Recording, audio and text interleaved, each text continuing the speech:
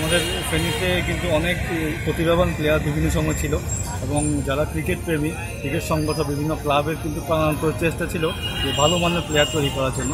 তো আল্লাহর রহমতে আমরা সকলের চেষ্টায় সাইফুদ্দিন এসেছে। আমাদের মাঠ একটি বড় সমস্যা। আমাদের স্টেডিয়ামটা অনেক ছোট।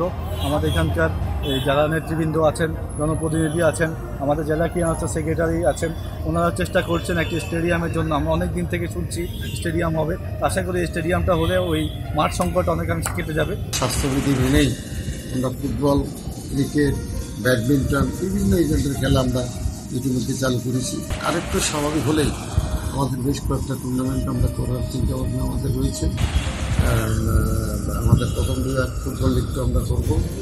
তারপরে আমরা দ্বিতীয় বিভাগ ক্রিকেট লিগটা সম্পন্ন করব।